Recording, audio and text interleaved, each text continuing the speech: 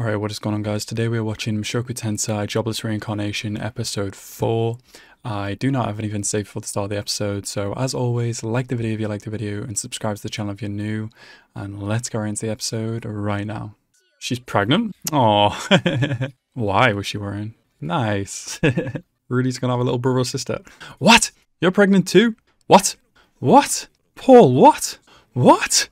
No way! Does Zenith know? Were they doing like a kind of, you know, couples kind of fun thing? Or does is this just a complete shock? What? I can't believe Paul of all people. Oh man, what a shit situation. I can't believe it. Zenith and Paul seem like such a perfect couple. Yeah, no fucking shit. Not surprised. I can't believe it. Yeah, she's a good maid. I can't believe Paul, man.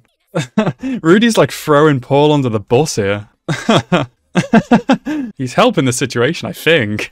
what is going to happen with Paul and Zenith now then? Damn, Rudy's really, Rudy's really saying the proper thing here, isn't he? Oh, Zenith's being put in such a shit situation there. Oh, she's such a good person. You're too good, Zenith. Paul, Paul, however, you need to be slapped. Zenith, you have the patience of a saint. Paul, you're a little shit. Oh, oh, damn. Oh, another one of these scenes. mm, it doesn't really say. I mean, you kind of seduced Paul if you knew he was there, but Paul looks like he did this by himself. So, yeah, he's. Uh, it's almost like this. there's something up with this child, isn't it, Lilith? He might be. Mm, okay, interesting new turn of the turn of things with uh, Lilith and Rudy now. Cool. Rudy's gonna have his own follower. Oh, look at this. They're already born. That's awesome. That's true, actually. Isn't he like a knight? Legit, they, they had it too easy with Rudy, bro. I'm not surprised. Uh, alright, hang on. Jesus, Paul's a scumbag. Apparently, yeah. I mean, anything goes in a sword fight, to be fair, but... yeah, you tell him, Rudy. Paul, you're a scumbag. These little bastards. yeah, I've never thought about him going to school, actually. Maybe he wants it for the social side. Make more friends, you know? Oh boy, wow.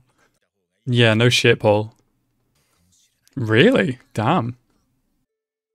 Oh. If you leave, you have to take Sylph with you at least. Oh, he's so cute. he made an anime character figure. you little pervert. oh, it's from Shisho. That's funny. you deserve that, bitch. nice. Good job. Hell yeah. I'm glad I'm glad Roxy's making improvements too. Wow, that's crazy. She's super good then. Alright, Paul's scum, but I do like how him and uh, Rudy can speak the same language. No. yeah, bitch. Ah, okay, I'm seeing where this is going now. Why you say no? Why? Okay, fair. So he can save up. Alright, that's a reasonable request. That's fair.